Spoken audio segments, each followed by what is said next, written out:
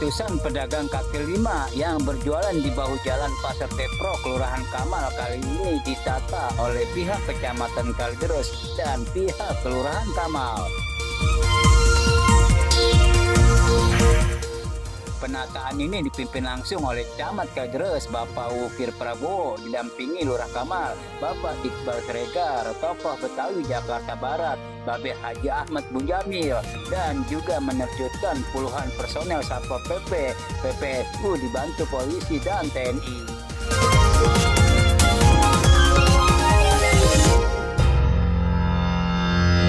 Nah, yang saya khawatirin mah takut ke itu aja bongkar ya. Busur aja kebongkar doang tapi kalau kayak gini Ya. bagus ya harapan saya mah ya kayak gini aja aman gitu Nyaman. jualan nyaman jualan tenang gitu ya buat kan namanya buat nafkahin keluarga pengennya mah aman-aman aja kan. Nah, kalau berjualan mah dari dulu pasar Ono baru gue juga udah jualan udah lama lah. Ya. ada 20 tahunan lah Dua tahunan.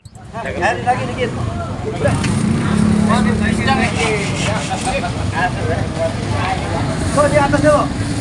Ini jangan dorong lagi. Nanti ke depannya kita mikirin lagi siapa.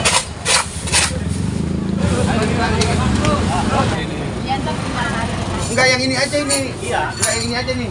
Kayu. Yuk. Ya. Enggak apa-apa ya. Enggak apa-apa pakai payu tapi kesinian. Mundurin. Mundurin. Ya.